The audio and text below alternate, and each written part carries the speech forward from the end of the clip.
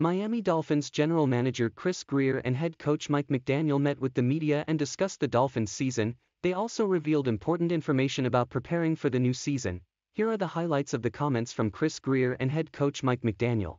The first question concerns fullback Byron Jones, and Grier said Jones has worked hard to try to make a comeback.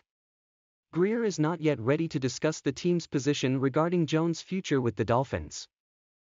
Grier called 2022 a successful season for the Dolphins, although no one was pleased that the ultimate goal of winning the Super Bowl was not achieved. Grier reiterated that Tua is our starting quarterback. We fully expect him to be back next year 100%, ready to go. However, Grier did not address the issue of exercising a fifth year option on his contract and giving him a long term extension. He is now eligible for that for the first time, Grier opposes the notion that Tua is more prone to concussions in the future as he has had several this season. Grier also pointed out that Tua was wearing one of the safest helmets for protection from concussions.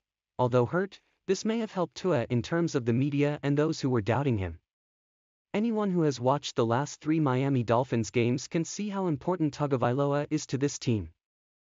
Between the two midfielders who were involved in Tagovailoa's absence, Teddy Bridgewater and Skylar Thompson, Neither of them could even comprehend what was going on with this offense with Tua there. Tagovailoa has proven that he is one of the most accurate passers in the league and he can also make all the throws everyone thinks he can't.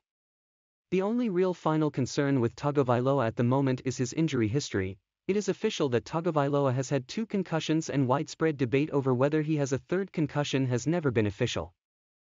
Concussions in the NFL can get very serious, and when you have a lot of concussions, that becomes a concern, Despite concerns about Tagovailoa's injury history, Tua has proven himself and he deserves a chance to be the Miami longtime answer they've been looking for since Dan Marino.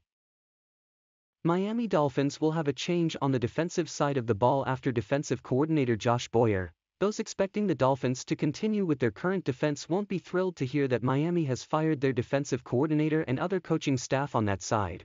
I am grateful for Josh's contributions this year and throughout his tenure with the Dolphins, McDaniel said in a statement. The defense has made strides throughout the season, so coming to this decision has not been easy. But ultimately I feel it is in the best long-term interests of the Miami Dolphins as well as continued growth. Of our players and teams, Miami fans shouldn't be too surprised and more coach changes could be coming. Another coach that fans are waiting to learn is special teams coordinator Danny Crossman.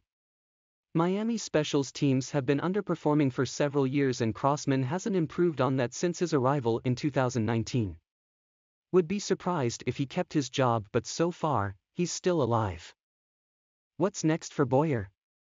Don't be surprised if he joins Bill Belichick back in New England or follows Brian Flores if he gets the job as head coach of the Arizona Cardinals.